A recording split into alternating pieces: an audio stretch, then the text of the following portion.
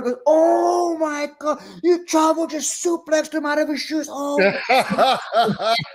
Lashley or Shelton Benjamin's story. So absolutely, Bobby Lashley, tough guy, very good worker, freak of nature, good friend of mine. I really like Bobby.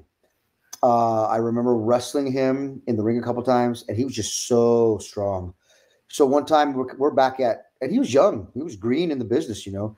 Um, we come back, we were the the match after intermission, so popcorn match, right? Everybody's still at popcorn. They're still at, they're still getting, um, you know, yeah. so so they announce as we come in the ring and we're circling. He's getting ready to block. I'm like, whoa, no, no, no, no, God, we gotta wait three or four minutes and let me do my stuff. He's like, why?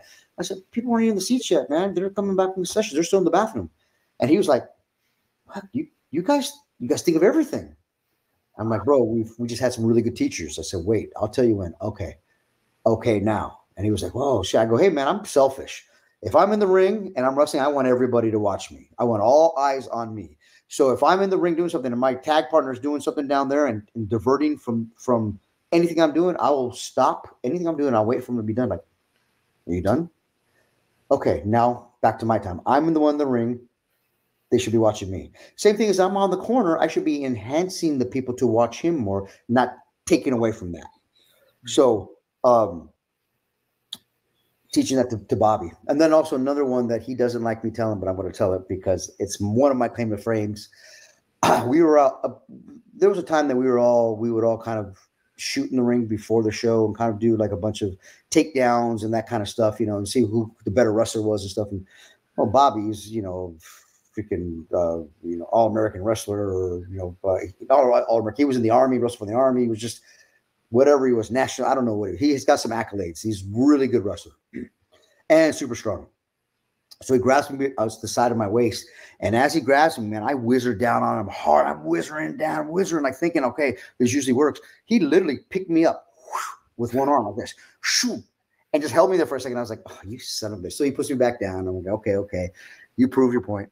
So then we start messing around a little bit. We're kind of going. He's trying to get me. I'm, you know, I'm pretty quick, so I'm kind of de- doing some defensive stuff, but I, I can't get him. He's just too good.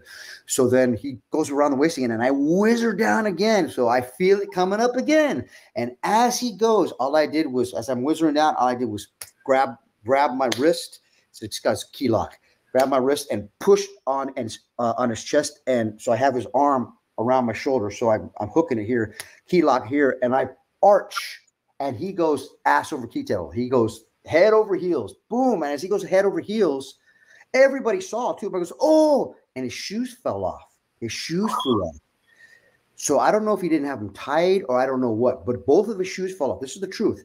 They fell off, and everyone goes, "Oh my god, you Chavo just suplexed him out of his shoes!" Oh, and the only reason I suplexed him is because he was trying to lift me up, something he would never do in a, in a match. He's right. and as he's lifting, he goes, and it was just perfect timing. And I rolled out of the ring, and I'm like, "That's it. I will never wrestle you again." Because the last time I wrestled you, your I suplexed you out of your shoes he was like so pissed. Fuck you, Chavo. Get back in here. Get back. I was like, hell fucking no. I will never wrestle you ever again. There you go. I suplex Bobby Lashley out of his shoes. That's awesome, man. but, awesome but that was again was just because